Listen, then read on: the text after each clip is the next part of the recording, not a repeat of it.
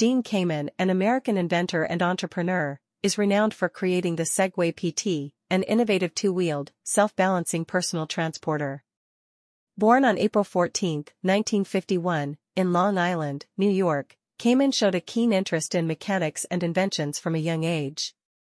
He pursued his passion and eventually founded DEKA Research and Development Corporation, a company behind many groundbreaking technologies. The Segway PT, revealed in 2001, was Kamen's most famous invention. It was hailed as a revolutionary mode of transportation, utilizing gyroscopic technology to maintain balance and offering an eco-friendly alternative for short-distance travel. Despite high expectations, the Segway didn't achieve widespread commercial success, partly due to its high cost and regulatory restrictions in many cities. Contrary to a common misconception, Dean Kamen is not the one who died in a Segway-related accident. That tragic fate befell Jimmy Heselden, a British entrepreneur and philanthropist, who acquired the Segway company in 2010.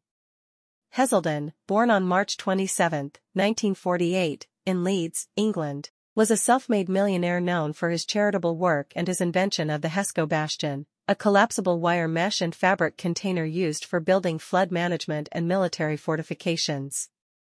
On September 26, 2010, Heselden died in a tragic accident while riding a Segway on his property near Boston Spa in West Yorkshire, England.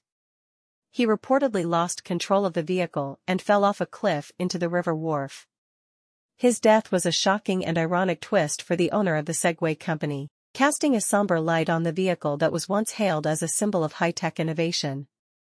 Despite this, Dean Kamen's legacy as an inventor remains intact, marked by his contributions to technology and his ongoing efforts in various fields of science and engineering. Please like and subscribe for more fun and interesting videos.